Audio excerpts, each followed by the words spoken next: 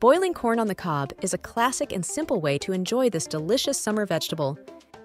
And here are some easy steps to make perfect boiled corn every time. I chose some fresh corn, and I started by peeling the husks. I discarded the outer husks, but I kept some of the green fresh ones from inside, and I will use them when boiling the corn. I also removed the silk at the top. Once cleaned, I trimmed the ends. I will keep my corn whole, but if your corn is too big for your pots, you can cut it in half.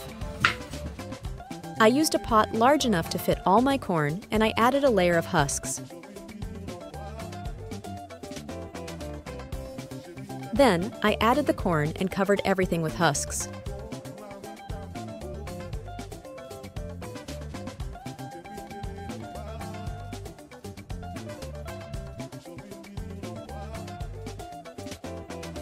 I added enough water to cover the corn, then I added some salt. I placed the pot over medium heat, and when the water started to boil, I covered my pot. Leave the corn to boil for 15 to 20 minutes if it's fresh, or for 30 to 40 minutes if it's harder. When done, the kernels should be tender, but still slightly crisp. Carefully remove the corn from the pot and place it on a serving platter. Serve hot with butter, salt, or your favorite seasoning. This cooking method is easy to master and always yields delicious results. So next time you're craving a taste of summer, grab some fresh corn on the cob and try boiling it for a tasty and satisfying dish.